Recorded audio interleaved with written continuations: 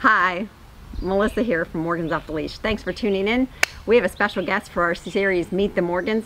That's right, Mike Morgan's up next.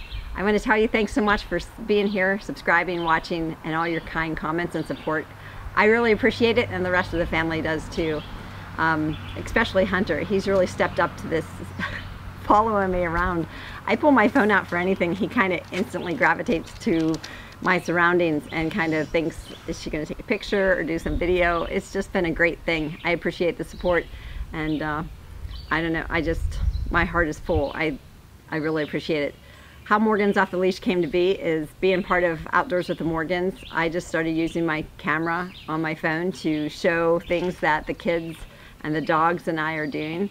So it gives you a behind the scenes or more of a personal uh, intimate look of the Morgans and what we do.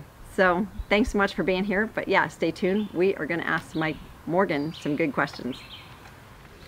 Here we have Mike Morgan from Outdoors with the Morgans. Thank you so much for being here with us today. I have good questions. I'm, I'm terrified that... about these questions. Yeah, but you know what? He was kind enough to offer to use his cameras and I'm sure he can help me with the editing. So hopefully you'll see everything.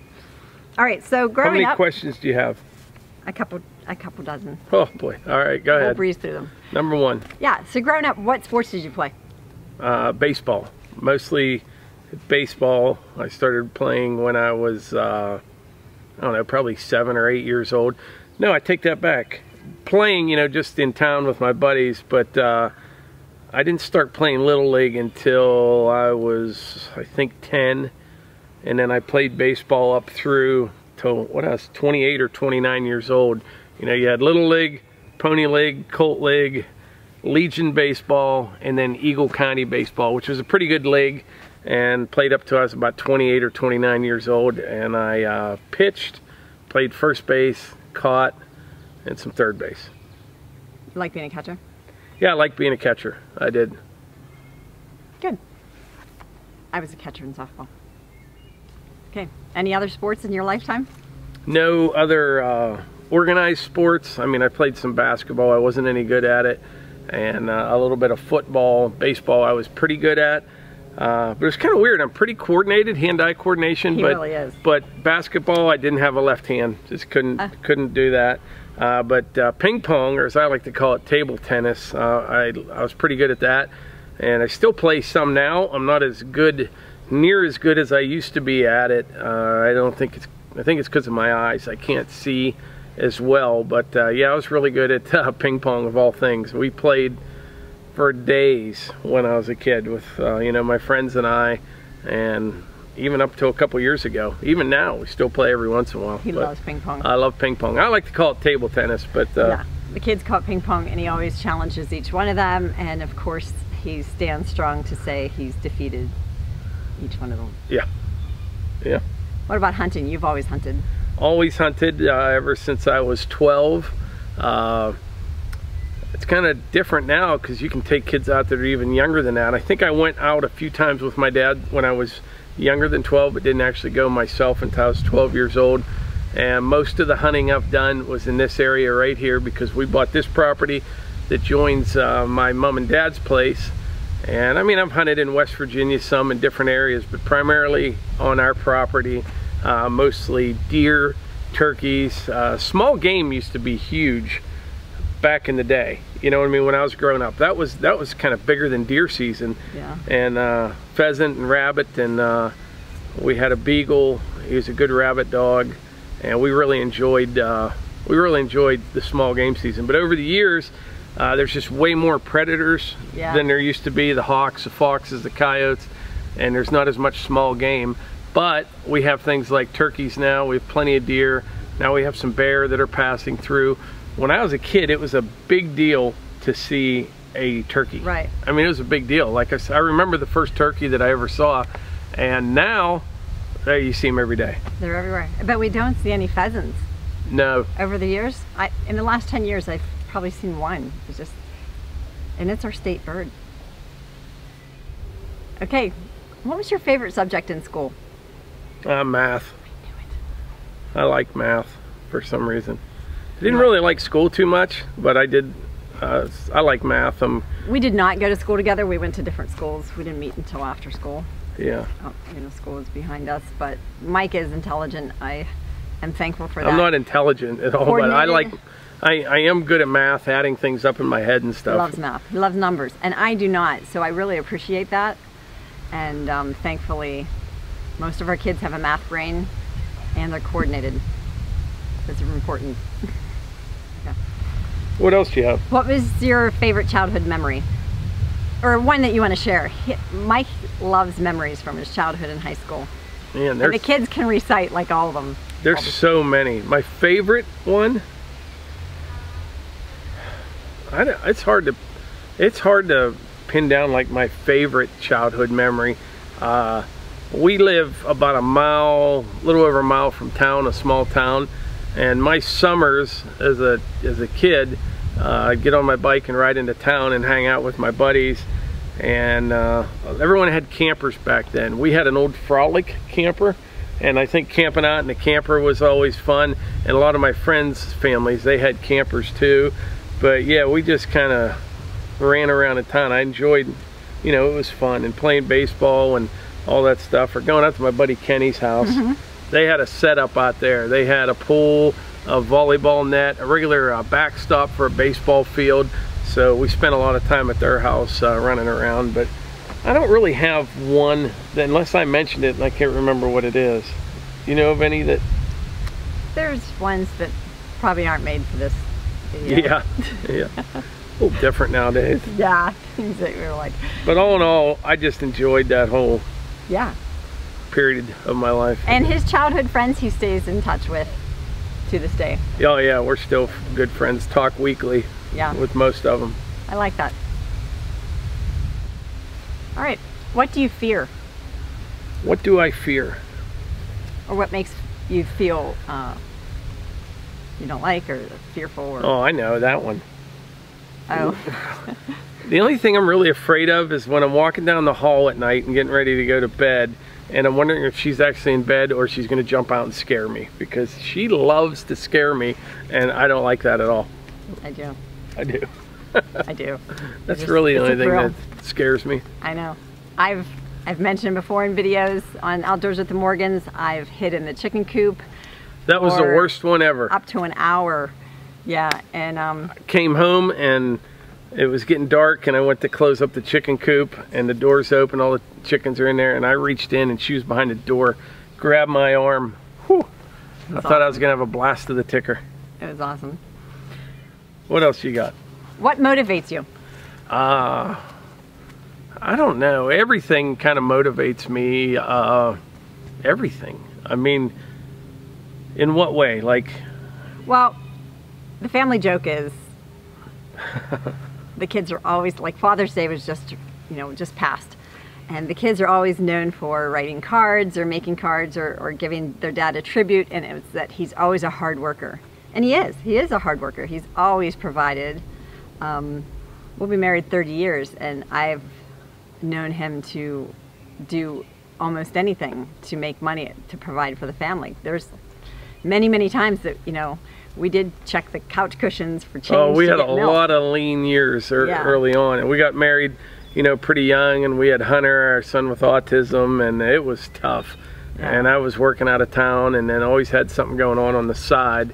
But I, I mean, my family motivates me. Really, everything motivates me. I do. I, I love life. I love being outside. I don't like to just sit around. You know what I mean? At Wait the- for something At the end of each day, I like to just look back and feel a sense of accomplishment. And some days, you know, we all are. You know, there's days I just don't feel like doing anything, and I will actually force myself to at least get something done and uh, try to get ahead of the game a little bit. Because each day, if I don't, I'm in a bad mood that night. If I, I can't just go to bed without accomplishing at least a few things each day, and uh, this channel motivates me as well. All you guys, you motivate me. Uh, my family, everything motivates me. Even, believe it or not, even like the haters on YouTube and, and social media, that motivates me as well. You know, Keep doing it. it's just what do they say? The haters are your motivators. Everything Yeah. motivates me.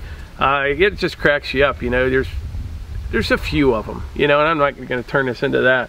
But I, I just sit back and chuckle. I do. There's so many people tell you you're doing this wrong or doing that wrong, Right. and I just keep doing my thing. And uh, but yeah, everything That's motivates me. If that answers your question.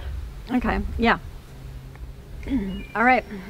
What is your favorite band or song? Like, I think I know this one. I don't think you do. I'm gonna say His favorite band happens to be his favorite food. or meatloaf. Yeah, I like Meatloaf, both the food and the band. But I think my favorite song is Thunderstruck by ACDC. Oh. I think that's my favorite song. It's like a motiv- motivating. It is. But yeah, I always like Meatloaf. That was a good, uh, Dashboard. yeah, Paradise by the Dashboard Yeah. Light. That was a good song. But yeah, I like different types of music. Uh, listen to a little bit of everything. Mostly just when I'm working. But uh, it's weird. The older I get, the more I revert back to that music. Uh, you know, like the ACDCs and stuff The like stuff that. Stuff that, yeah, brings like, yeah. I can seriously listen to a song and it takes me back to my high school days. I can remember what outfit I had on and my hairdo, my friends, what we were doing. Yeah, isn't that funny? Yeah. It's the same with cigarette smoke though. I, there's certain smells and cigarette smoke is one of them. And most people, if you don't smoke, you don't like cigarette smoke. I never smoked in my life. I love cigarette smoke. No, I shouldn't say love. It doesn't make me say, yuck, this is awful. You just like the it a brings whiff of back it. a whiff of it brings back such good memories. My dad's family smoked, Oh, yeah. and they were the kindest, nicest people. You know, Bloody Mary in one hand, cigarette in another, and holding a big candy dish, going, "Come on in, have some." I'm like, "Really? Yeah." And there's Oh. Coke in the refrigerator. Help yourself. I'm like, "Oh my goodness, I never want to leave here." I never smoked e- either, but uh, boy, growing up, everybody did. I not not so much the kids, everybody's parents. You know what I mean? Yeah. E- Everyone. Uh, Well, that was back in the day where our kids can't believe it when we tell them that you could get cigarettes out, of, a, vending, machine. Yeah. they were like, "What?" I'm like, "Yeah." and that was funny. I never smoked, and like you could get them if yeah, you wanted to. I right just there. They were in the never, vending machine. never did. Fun. All right. Um, what's your favorite movie? Favorite movie? Sandlot. Oh, that would be your favorite. Yeah. Sandlot was a great movie. Uh, yeah, that's probably my favorite movie. And the Rodney Dangerfield. Yeah, Caddyshack was a fantastic movie. There's, they don't make movies like they used to, and I, I don't watch movies anymore. Uh, occasionally, last year we went to a couple, but like there's, I don't even remember what they were. You know what I mean? Yeah. I don't even remember what they were. But Caddyshack was a great movie. Uh, but Sandlot would have to be my favorite. We have a couple that we like together. Uh, Dumb and Dumber, Dumb and Dumber. Tommy Boy. We have a really uh, high level of everything's Chris Farley or Yeah. Dan Aykroyd or something like that. Oh, what about Bob? That's a funny one. great movie there too. One of my favorite movies from like way back was Red Dawn. Oh, I love that Red Dawn movie. I did. The original Red Dawn. I remember I took the kids to see the new one, and the guy that was in it was like on some little kid show. Remember? You know what I'm talking about? He was on like iCarly or Oh, something, right. and he's like the hero, and I'm like, this isn't gonna work because I remember when my kids were little watching him. He's not Red Dawn material, but uh, yeah, but yeah, Red Dawn. All-time favorite though is Sandlot. Great movie. What else you got? Okay. If you could sit down and have a conversation with anyone, dead or alive, who would it be? Oh boy. I'd say George Washington. Oh, that's a very good one. Yeah, That would be cool. that's a that's a tough question because there's a lot of yeah, but I'd say Washington. All right. What do you find takes up too much of your time? And it doesn't have to be useless or My job. traffic driving. My job. Uh, I have a great job and I like it, but the most frustrating part about my job is the driving. I do. I do a lot of driving. I like meeting people, getting out, taking you know care of stuff, or looking at jobs and meeting with contractors. It's the getting from point A to point B And sometimes I do like audio books and things like that to kill some of that dead time, but I see it as just wasted time and I don't know, but I'm sure many of you that are in the, you know, have to travel with your jobs can Yeah. say the same thing. the audio books are good though to help you. At least you get something Yeah. out of that time. Podcasts, yeah. We only have so much time here. Okay. Well, keep in mind this is my show. Oh.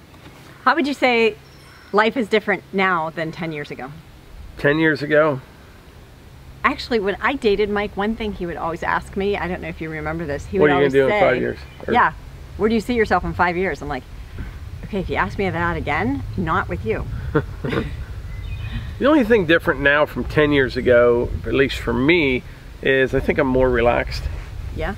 I used to be, I wouldn't say stressed, but a lot more high strung and had to do everything right now, and I'm not like that anymore. That's true. You have calmed. Okay, next question. What does your perfect day look like? Okay, it has to start with the perfect weather if you're gonna have the perfect day. Okay, It's gotta be cool and then the perfect breakfast. in the fall, uh, bacon, eggs, white toast, He loves breakfast. He always has.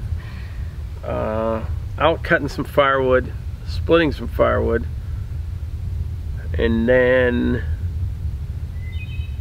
just being out here on a fall day has to has a lot to do with the weather. You know what I mean? When you're out here in the fall and the air is just crisp and cool, and uh, just hanging out in the woods, but that's that's that'd be a perfect day. And bringing the cameras along. Yeah.